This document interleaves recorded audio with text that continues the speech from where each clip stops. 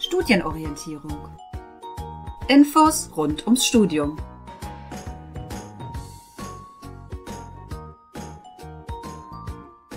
Möchtest du mehr darüber erfahren, wie ein Studium aufgebaut ist und welche Voraussetzungen du erfüllen musst? In diesem Video gibt es Hintergrundinformationen. Zugangsvoraussetzungen. Grundsätzlich benötigt man für ein Studium eine sogenannte Hochschulzugangsberechtigung HZB, zum Beispiel das Abitur. Es berechtigt zum Studium an Universitäten und Hochschulen für angewandte Wissenschaften. Oder die Fachhochschulreife. Sie berechtigt zum Studium an Hochschulen für angewandte Wissenschaften. Es ist auch möglich, sich über die berufliche Laufbahn für ein Studium zu qualifizieren.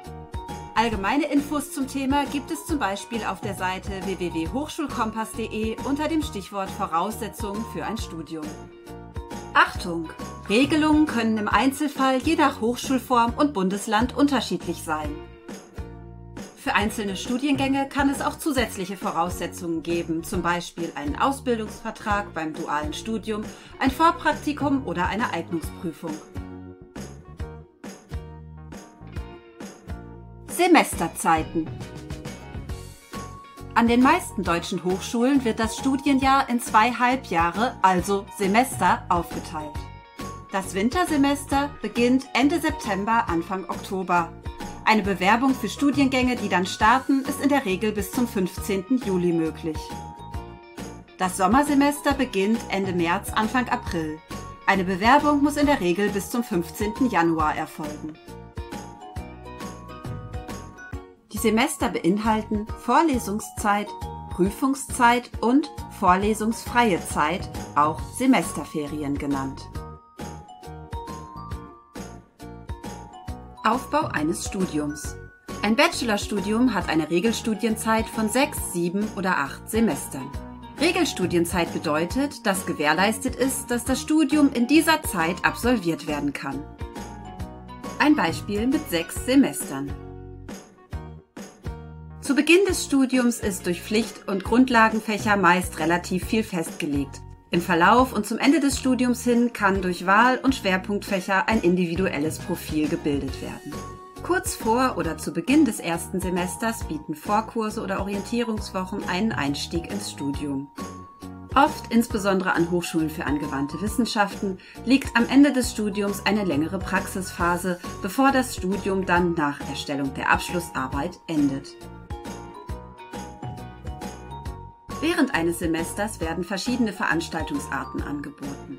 Vorlesungen, Seminare, Übungen oder Tutorien. Eine oder mehrere Veranstaltungen zu einem Thema bilden ein Modul. Für das Modul gibt es eine Gesamtnote und Credit Points ECTS. Credit Points beschreiben den Arbeitsumfang Workload eines Moduls.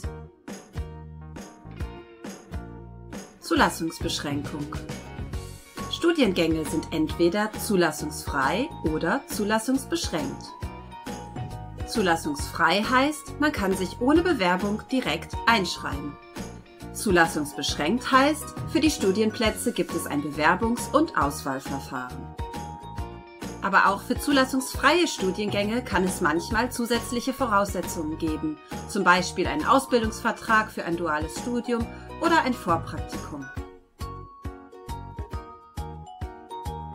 Übergang Studium Beruf. Es gibt verschiedene Möglichkeiten und Zeitpunkte vom Studium ins Berufsleben zu starten.